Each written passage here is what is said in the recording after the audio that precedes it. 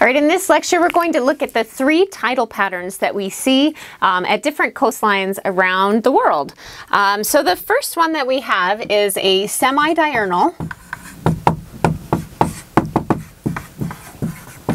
tide.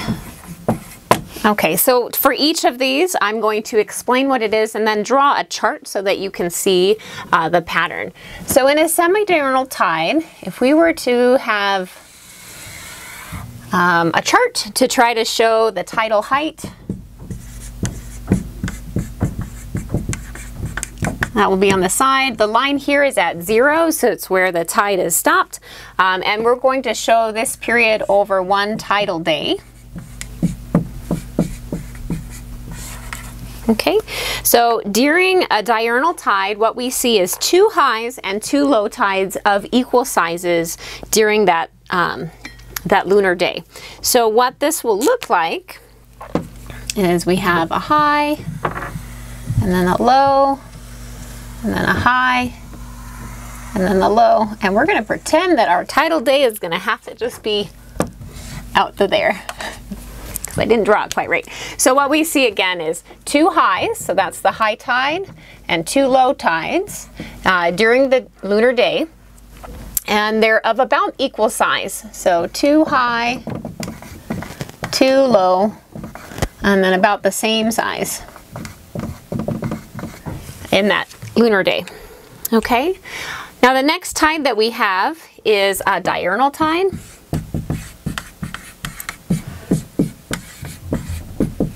Okay, so what happens with this one, I'll try to draw it to the same size so that you can see it. Again, tidal height on the side with the zero in the middle. But in a diurnal tide, we have one high and one low per the per day. So we're gonna get over to there. So it's gonna be, okay, so we have our high and our low. Um, so we have one high tide, one low tide per lunar day. Okay.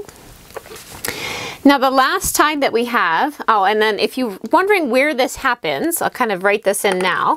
Um, we would see semi-diurnal tides. Um, they're common on the east coast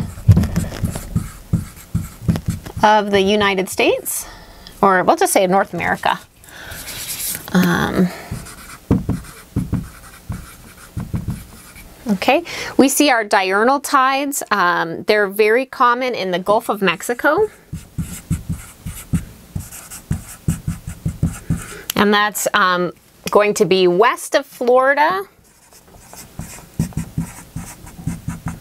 Um, all the way through Texas, so kind of to the, Mex the border that it has with Mexico. Okay, um, the reason we see this diurnal tide here, um, they're very common in closed basins. And the Gulf of Mexico is one of those.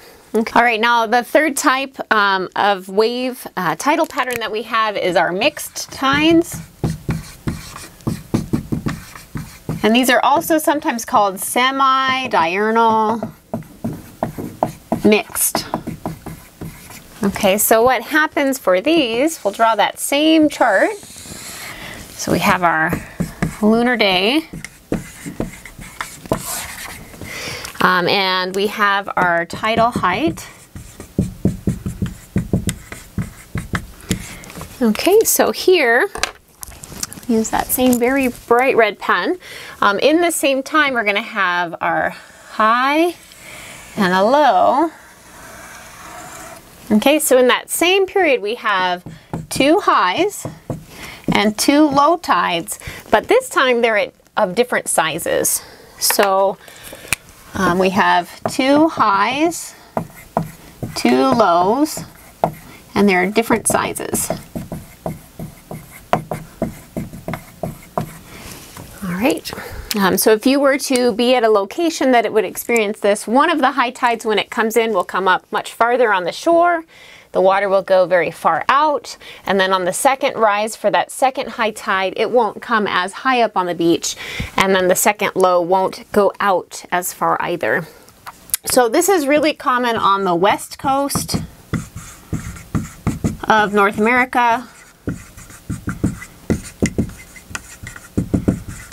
Um, so places in California, Oregon, Washington, um, up into British Columbia will be experienced, uh, experiencing these mixed tides.